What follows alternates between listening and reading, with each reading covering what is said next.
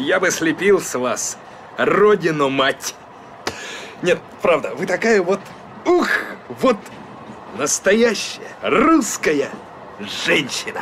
Вы хотели сказать баба. А что плохого в слове баба? Для многих зрителей и любителей отечественных сериалов не могла пройти мимо история русской женщины, которую воплотила на экране актриса Екатерина Порубель в сериале «Серафима Прекрасная». Часто мы, зрители, отождествляем судьбу героини с реальным актером, но так ли это на самом деле и какие изменения произошли с Екатериной спустя 11 лет после выхода картины, об этом вам расскажет канал «Знакомые лица». Будущая популярная актриса появилась на свет в Москве, в семье педагогической интеллигенции, 8 июня 1983 года. Родители были физиками, но в тяжелые 90-е сменили сферу деятельности. Папа открыл секонд-хенд, где в итоге одевались все члены семьи, а потом и магазин кондитерских изделий. Девочкой Катя была довольно крепкой. Ребята ее не дразнили, но она сама понимала – что выглядит не идеально. Рекордного веса Катя достигла в старших классах – 97 килограммов. Зато преподаватели театральной студии, куда с 12 лет ходила Порубель, уверяли, у подростка есть индивидуальность и большой талант. Девушка прислушалась к мнению наставников и отправилась на конкурс в Щепку, где ее заметил и принял на курс Виктор Коршунов.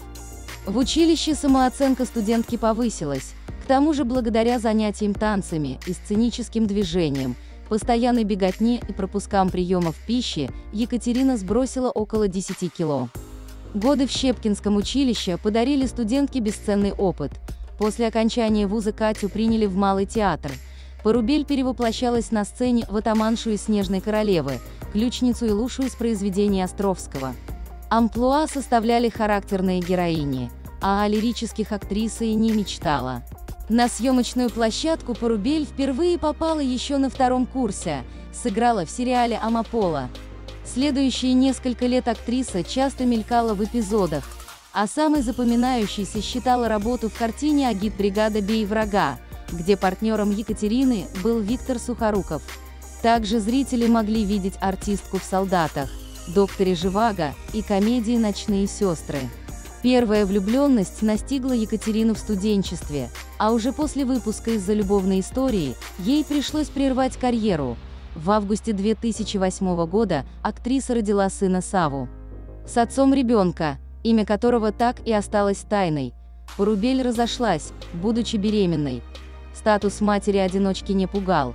Катя считала детей главным счастьем в жизни и верила, что Бог поможет ей вырастить и обеспечить всем необходимым малыша.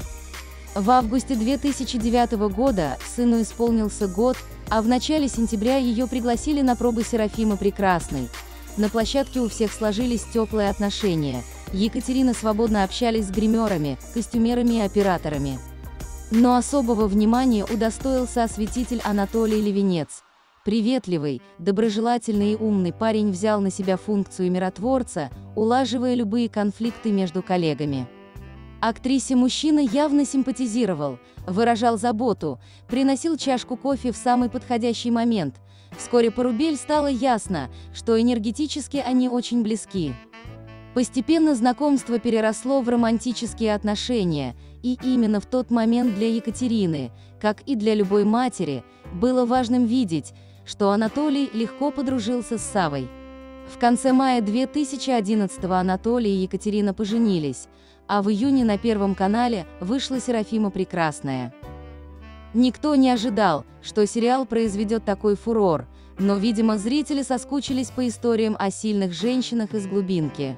Именно тогда актрису начали сравнивать с Нонной Мордюковой. Присмотритесь, ведь правда, между ними есть что-то общее, а в 2012-м Порубель номинировали на ТЭФИ.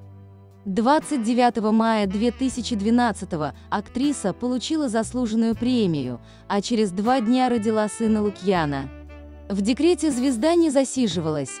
Через три месяца стартовали съемки редкой группы крови, так что пришлось нанять няню, которая приглядывала бы за малышом, пока мама работала в кадре, а папа – за кулисами. В 2017 в семье появился третий сын – Лев. Кстати, после свадьбы актриса сменила фамилию. Теперь она Екатерина Левинец. Но, конечно, для зрителей она так и осталась Порубель.